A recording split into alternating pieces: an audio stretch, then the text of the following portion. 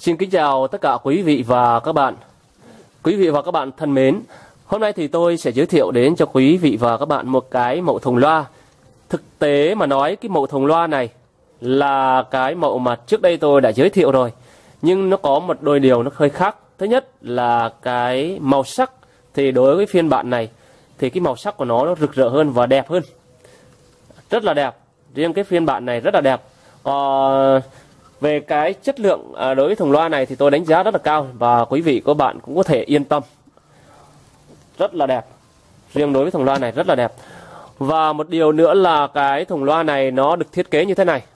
À, quý vị và các bạn lưu ý cho là đối với cái mẫu thùng loa này thì à, không thiết kế lộ để cắm y căng. À, cái điều này nó có một cái, cái, cái khác biệt nữa là chúng ta có thể sử dụng à, cái miếng dán khóa bốn miếng ở đây hai mặt để ốp vào đây và sau đó chúng ta có thể đặt y căng vào. Tất nhiên là trên à, cái bộ này đã đợi đã có y căng à, đầy đủ rồi. Y căng màu đen nó sẽ mang được một cái cái màu sắc à, biến đổi màu rất là đẹp. Thì à, về cái cơ bản thì kích thước đều giống nhau và độ chính xác của nó là tương đối rất là lớn đẹp. Và thùng này thì được cái được thiết kế của gỗ MDF à, quý vị các bạn lưu ý là cái gỗ này nó có độ dày của nó là một phân rưỡi lưu ý một phân rưỡi một cái độ dày cho loa toàn dải này cũng tương đối là khá là dày. Của anh thì sắp tới tôi sẽ à, giới thiệu và đưa ra một số mẫu thùng khác nhau.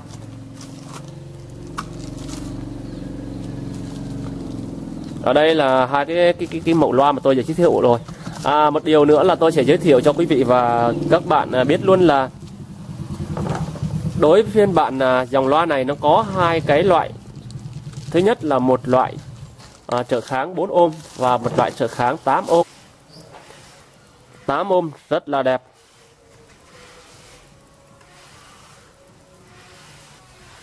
Quý vị và các bạn hãy nhớ đăng ký kênh. Việc đăng ký kênh sẽ được cập nhật nhiều những cái sản phẩm cũng như là những cái video mới nhất của bên tôi thực hiện do chính tôi thực hiện. Và như vậy để chúng ta có thể uh, nhận được những cái sản phẩm mới nhất của bên DH Audio.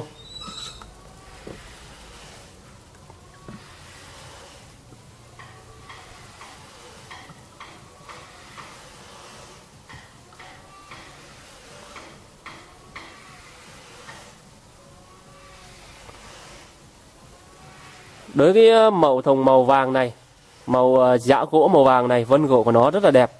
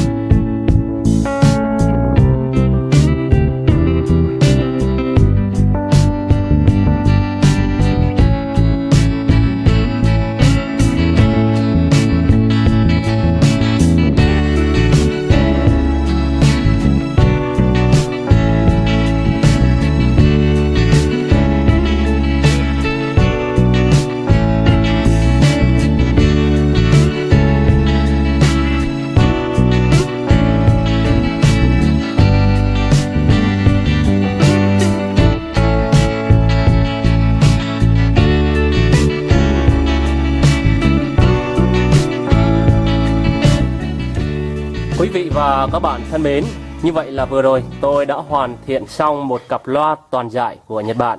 Và trên một cái mẫu thùng màu phân gỗ vàng sáng đẹp.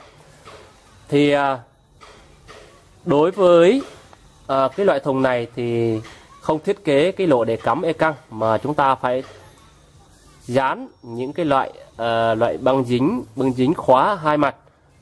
Thì à, ở đây tôi có một cái loại e căng này. Đây là chúng ta nhìn thấy là đây là cái y căng. Thì à, đối với dòng y căng này thì à, chúng ta à, chỉ cần dán bốn ốp bốn vào đây. Và ở phía dưới này chúng ta có thể ốp lại. Thì như vậy chúng ta đã có được một cái bộ loa vừa đẹp để thưởng thức âm nhạc.